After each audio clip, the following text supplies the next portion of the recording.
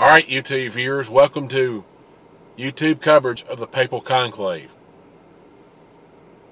Here are two candidates to look out for. Scoloho out of out of Italy, the cardinal from Italy. Now that may not be pronouncing his name. I think his name's Scolola, or I can't say his name right, but and Timothy Dolan. Those are the two candidates I would look for. Now here's how coverage is going to go. Every other day, I will provide an update because there's there's no need for me if there's not a pope, not, uh, a pope elected, to say, hey, there's no no pope selected, and then the next day say, oh, hey, there was no pope selected.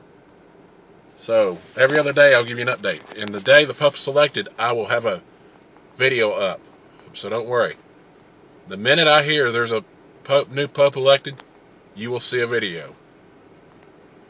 This is Kige Ramsey for YouTube Sports and YouTube International.